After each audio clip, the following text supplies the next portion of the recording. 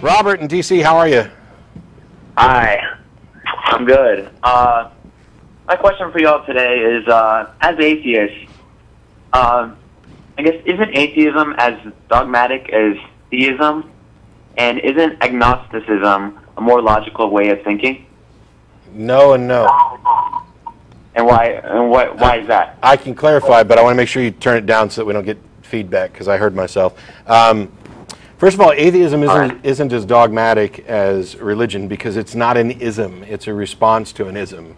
It is the position that I don't accept your God belief. It is not a declaration of absolute certainty, and it is not anything that we're asserting is necessarily true. Um, that there are, in fact, no gods. What we're saying, what atheism is, is this I don't believe.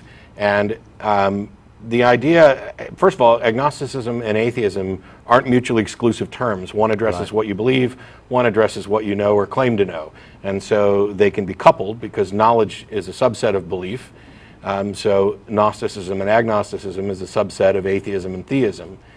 So you could be an agnostic atheist, and most atheists are, or you could be a Gnostic mm-hmm. atheist, and m- most atheists are not, and it depends on your definition of knowledge. But if I ask you, do you believe in God, and you say, I'm an agnostic, you haven't answered the question, because I didn't ask you what you knew. Right. I asked you what you believed, wh- whether or not you believe in a God. And on that, there are only two options. I, if you believe, you're a theist. If you don't, even if your answer is, I don't know, or I'm not even sure what I believe, you're an atheist. Because I, I fail to see how you could actually believe in a God and not recognize that you believe in a God. I mean, to me, theism is a positive assertion that I do believe in God, and if you can't make it, that you're an atheist. Now, th- that is, uh, by and large, dictionary atheism, and that's uh, kind of a philosophical look at it. Who atheists, who atheists are, what we do, what the atheist community is about, it's about a whole lot more than just, I don't believe in a God. Right. There's, there's, there's a lot more to it than that. It's not, it doesn't derive directly from atheism. It is just positions that are consistent with atheism. My atheism is the product of my skepticism. Right. Um, my views on certain, certain things are based primarily on my humanism. These are all, uh, they're not, they're not contingent upon one another, but they're consistent ideas. Yeah. The little creed that I, I quoted um, during the presentation earlier today skepticism is my nature, free thought is my methodology, agnosticism is my conclusion, atheism is my opinion, and humanitarianism is my motivation. And so that, that sums it up for me. Another, another quick point with that would be the dogmatic nature of religion is top down. And of course, we try to um, we try to not give that appearance sometimes by saying, "Now, don't take my word for it. You know, read your Bible and find it for yourself." But that's really an exception to the rule. That's something that is said but not necessarily practiced. The whole point of religion is to follow someone. That's what religion does. That's part of the rite that you're involved in. Where my experience with atheism has been exactly the opposite. It's actually from the ground up.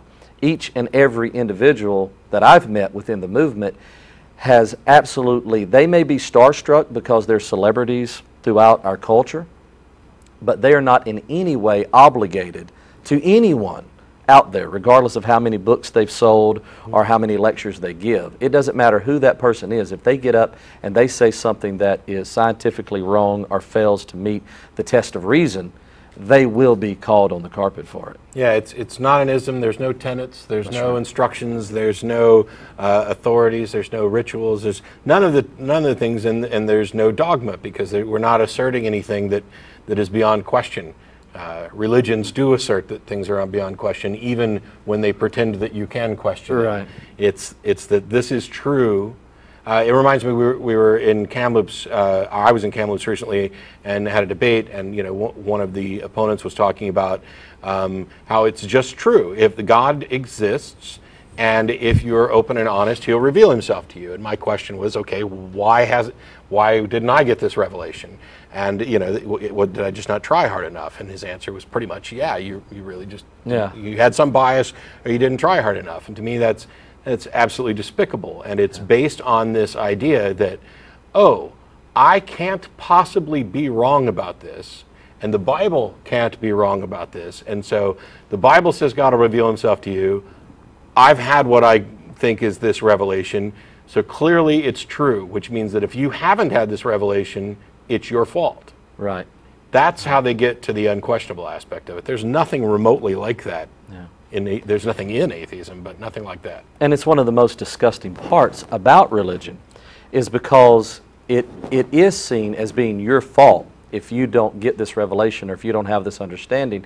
Then, once again, instead of having a, a situation where you have the burden of proof being put upon the person making the claims, you have something even worse than that. Not only is there no burden of proof, but also the guilt is shifted to the person that doesn't see it. So a claim is made, and if you don't see it, then you're at fault. It's, uh, it's filled inherently with guilt. Yeah, well, I mean, there's no question that religion is, you know, is not is not sound way of thinking. But you know, in my opinion, and this is what I don't understand is, I guess you're saying atheism is sort of like, like your opinion is is what you were saying is is you just don't believe personally Correct. that that that something can be there, uh, No, no, instead well- of the belief that you're not sure whether one something is there or is not there. Yeah, the example, the example, there's a, there's a burden of proof that goes with the claim that a God exists. The example that I've continually used is a court case. If the, the, the fact of the matter is the defendant on trial is either guilty or not guilty, or guilty or innocent. Um, that's the fact. They either did the crime or they did not do the crime. And likewise, a God either exists or does not exist. But the question for the jury is not, did they actually do this? It's what do you believe about the claim that they did do this? And so that's why juries don't vote guilty or innocent. They vote guilty or not guilty. And those people in the not guilty category may actually suspect that the individual is guilty. There just wasn't enough there to convince them. They don't have to be convinced of innocence. Likewise, on the question of the existence of God, um, there are people who are convinced, as I am, that there actually are no gods. There are other people who just aren't convinced that the various gods that have been um, suggested actually exist. And so the, the line that I, that I used was I find the defendant God not guilty of existing. If you can't see the distinction between saying not guilty and saying innocent, then you'll never see the distinction between atheist and perhaps anti theist. Right. And it, it also sounds like the same old story of if you have an opinion, mm-hmm. then you're being dogmatic. You know, if Yeah. you're sharing an opinion, you're being dogmatic. And that's not a fair argument. Yeah, the closest uh, closest thing to, uh, and, it, and it's not even dogma, but the closest thing to a flat assertion that atheism makes is that theism hasn't met its burden of proof. Right. And and I, I'll keep I'll happily defend that in a debate anywhere anybody wants to, because theism hasn't met its burden of proof. No brand, no doctrine, no denomination of any branch of any religion has actually met its burden of proof. And some of them not only recognize this, but assert that they couldn't ever. Oh, I couldn't ever possibly prove to you that a God exists. Okay, then why are we talking about it? That's right. Just take it by faith. Just trust me because you like me. Yeah, and if you and th- that gets down to the you have to believe to believe. That's right. that's exactly right. How the hell does that make sense? And, and where where else in the where else in reality do you hear the sort of excuses and arguments and language twisting that you hear in this, Right. you know, the discussion about the existence of gods? Right. And faith um, is what adults call pretending. that's, that's what faith is. It's pretending. Yeah, I, I used to I used to have a bunch of different working definitions of faith, but I've, I've changed to where faith is the excuse people give for believing something when they don't have a good reason. Right. So pretending is a good shortcut for that. Robert, I hope that gets to your question. Thanks so much for calling in. Thanks.